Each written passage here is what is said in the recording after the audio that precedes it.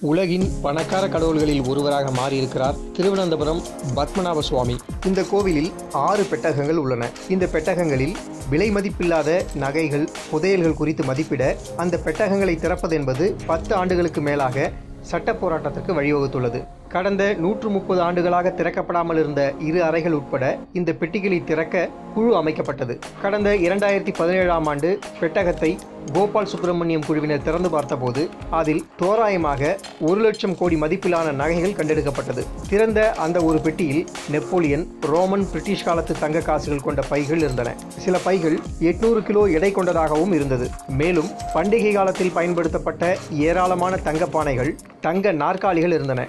வைரக்கற்கள் பதித்த தங்கத்திலான விஷ்ணுவின் சிலை நான்குக்கு மூன்று அடி உயரத்தில் இருந்தது. இருபத்தி எட்டு அடி தங்க கீடமும் இருந்தது. இது மட்டுமில்லாமல் முப்பது கிலோ மதிப்பிலான பொருட்களும் கண்டுபிடிக்கப்பட்டன. வைரங்கள் மாணிக்க கற்கள் பதித்த தேங்காய் ஓடுகளால் செய்யப்பட்ட ஆபரணங்கள் மரகத கற்கள் மாணிக்கம் போன்ற விலை மதிப்பில்லாத நகைகளும் தங்கத்திலான அழகு கலைப்பொருட்களும் சாக்குப்பைகளில் கண்டுபிடிக்கப்பட்டது. ஒரு பெட்டகத்திலேயே இவ்வளவு விலை உயர்ந்த பொருட்கள் என்றால் இன்னும் திறக்கப்படாத பெட்டகங்களில் திறந்து பார்த்தால் இவர்தான் உலகில் முதல் பணக்கார கடவுளாக இருப்பார். தொடர்ந்து ஆன்மீக செய்திகளை பெற இணைந்திருங்கள் பூமி ஆன்லைன் டிவியுடன்.